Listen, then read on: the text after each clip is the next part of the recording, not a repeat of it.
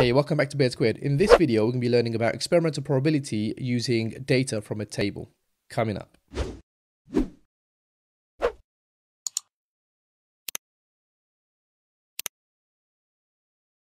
Okay, so in experiments involving chance, we use the following terms to describe what we're doing and the results we're obtaining. The number of trials is the total number of times the experiment is repeated. The outcomes are the different results possible for one trial of the experiment. The frequency of a particular outcome is the number of times that this outcome is observed. The relative frequency of an outcome is the frequency of that outcome expressed as a fraction or percentage of the total number of trials. In this lesson, we're going to be talking about relative frequency, which is the frequency over the total number of trials. Okay, so let's do an example using relative frequency. So George keeps a record of the number of apples he eats each day. Estimate the probability on a randomly selected day that George will eat exactly one apple and B, at least three apples. So we're going to be using this table of values to answer the question.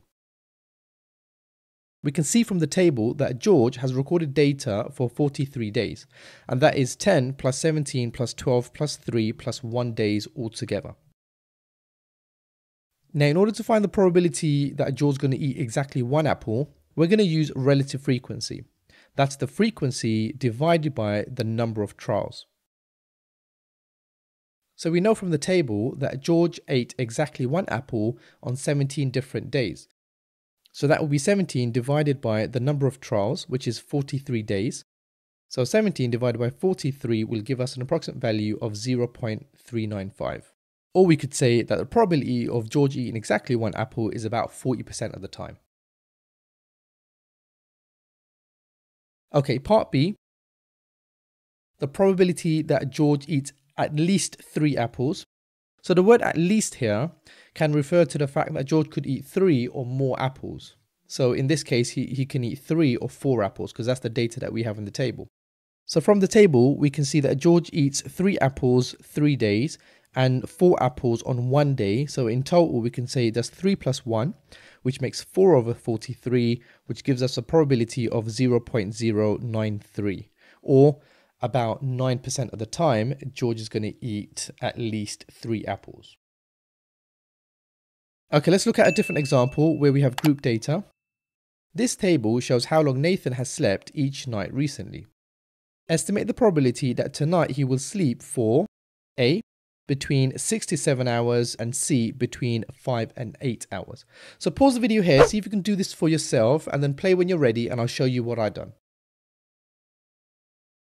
Okay, so before attempting to solve this problem, we know that Nathan has recorded data for a total of 121 days and that we can find out by adding the frequencies from the table.